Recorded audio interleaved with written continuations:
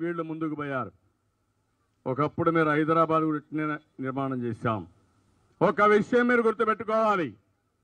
ఏదో పరిపాలనతోనే అభివృద్ధి కాదు.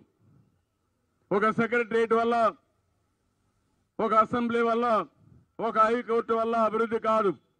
హైదరాబాద్లో ఎన్నో సంవత్సరాలుగా తరతరాలుగా ఇవన్నీ ఉన్నాయి. కానీ అభివృద్ధి ఎప్పుడు జరిగిందంటే ఒక హైటెక్ సిటీ వచ్చిన తర్వాత ఒక సైబరాబాద్ నగరం వచ్చిన తర్వాత ఒక ఇంటర్నేషనల్ ఎయిర్పోర్ట్ వచ్చిన తర్వాత ఒక ఔటర్ రింగ్ రోడ్ వచ్చిన తర్వాత అభివృద్ధి ప్రారంభమైంది. అభివృద్ధి అంటే సంపద సృష్టించడం. సంపద సృష్టిస్తే ఆదాయం పెరుగుతుంది. ఈరోజు రోజు ఇక్కడ మనం పనులు చేశాం.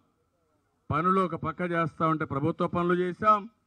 విట్ కానీ ఎస్ఆర్ఎం కానీ అమృత్ కానీ ఇవన్నీ కూడా వాళ్ళు కూడా పనులు ప్రారంభించారు. వీటన్నిటికీ సిమెంట్ కొంటారు. స్టీల్ తీసుకొస్తారు. ఇటుకలు కొంటారు. కూలీలు పెడతారు. వీటన్నిటిపైన జిఎస్టీ వస్తుంది. అదే సమయంలో ఇన్కమ్ ట్యాక్స్ కూడా కడతారు. ఇక్కడ వినియోగదారుల యొక్క క- కొనుగోలు శక్తి పెరుగుతుంది. ఒకప్పుడు ఇక్కడ చూశారు.